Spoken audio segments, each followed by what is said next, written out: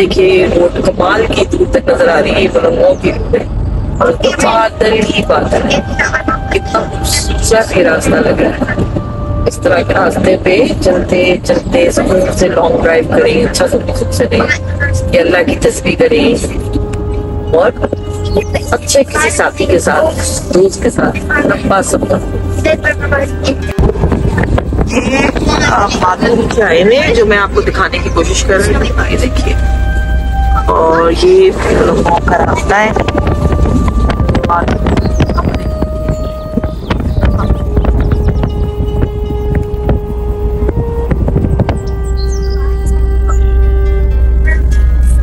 In three kilometers, take the exit towards Picton Road.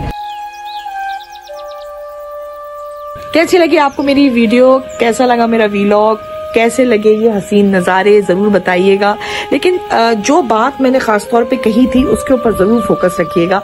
और वो बात यही थी कि जब आपकी प्योरिटी में कमी आने लगे तो आपने कहीं और किसी के पास नहीं जाना।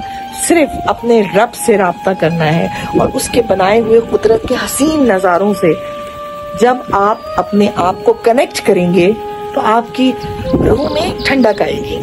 और आप जब सुबह अल्लाह कहेंगे ना, अल्लाह के नाम की तस्वीर पढ़ेंगे तो आपको लगेगा कि आप हवाओं में उड़ रहे हैं। आज मैं ऊपर आसमान नीचे। कितना खूबसूरत मंजर और अंदर बाहर से एक। तो कुछ वक्त मैं अपने व्यूवर्स को ये मशवरा दूँगी कि कुछ वक्त अपने लिए निकालें।